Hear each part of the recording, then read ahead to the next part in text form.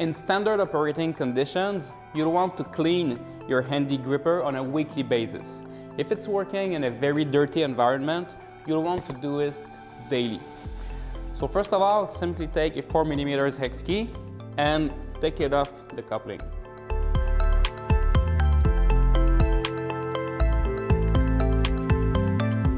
Then you'll want to simply clean it with a dry towel. No need to use any alcohol or any products, just a clean, dry towel.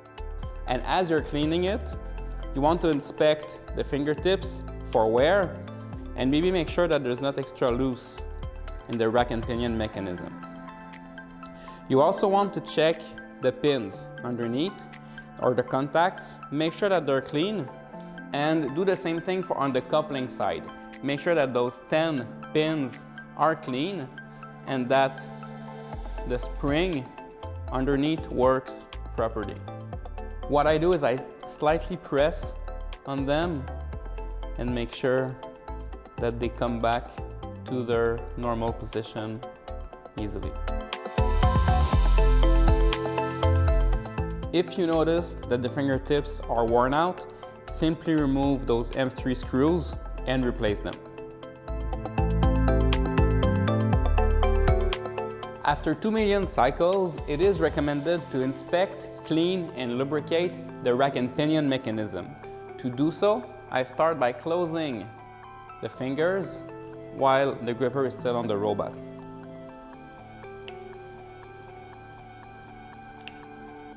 This allows you to get access to those two screws here that you will need to remove.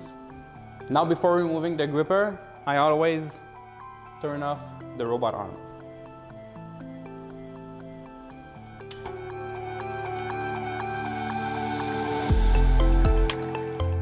So the first thing I want to do is to remove those six screws.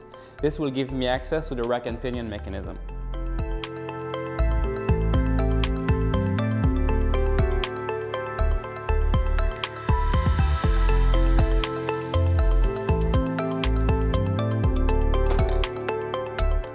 I inspect and clean.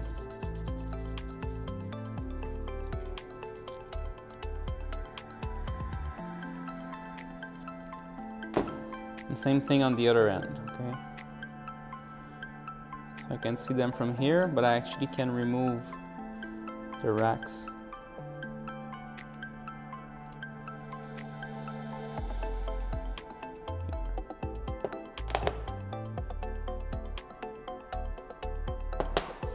So again, inspect and clean.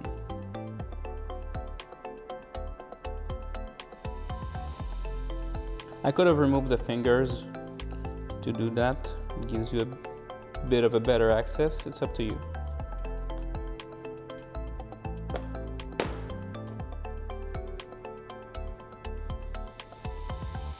Now mine are pretty clean. They're in the training environment as you see. Yours will probably be more, uh, it'll probably be dirtier than that.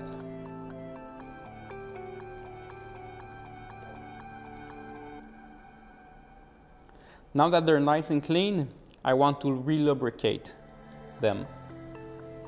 So I have this little bit of grease here, and I like to wear a glove and apply it with my fingers. You could use a brush, that would work too.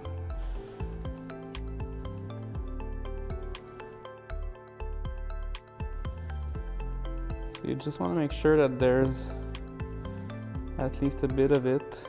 No need to put too much.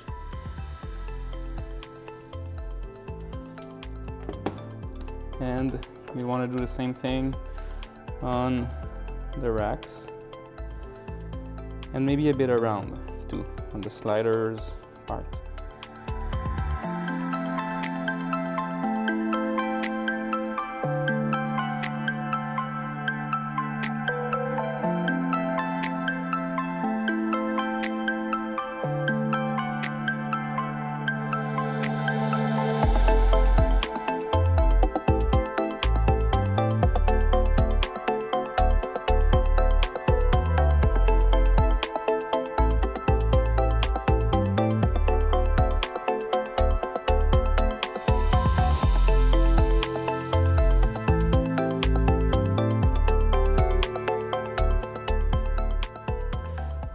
Right, now it's ready to be reassembled again. So now you can assemble the racks back into their sliders, into their guide. And one thing you want to keep in mind is that when you put it back on the pinion, it's gonna lock, right, in the gears.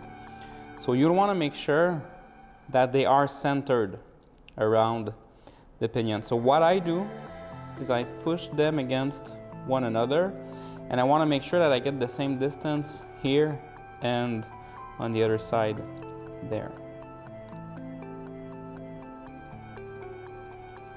So now I know that it's centered and I can put it back on the pinion here.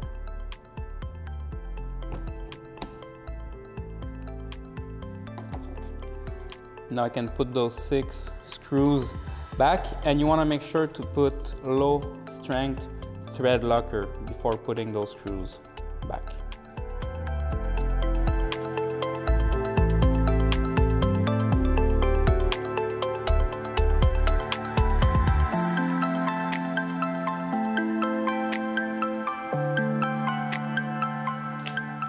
So when this is all said and done, I'll put it back on the robot, open and close it a few times, and then clean any extra grease that could have come out on the ends.